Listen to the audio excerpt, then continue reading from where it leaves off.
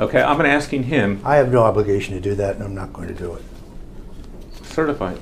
Yes, please do. You can ask your individual questions like you did yesterday. Well, take, a- take an opportunity, Mr. Stone, we have time to review To the read- I'm not, affidavit. I'm not going to read your biography. tell me- I'm and not tell going to me read your whether anything's biography. inaccurate. I'm not going to read your biography and all of your asinine claims because you're an egomaniac. I'm just not going to do that.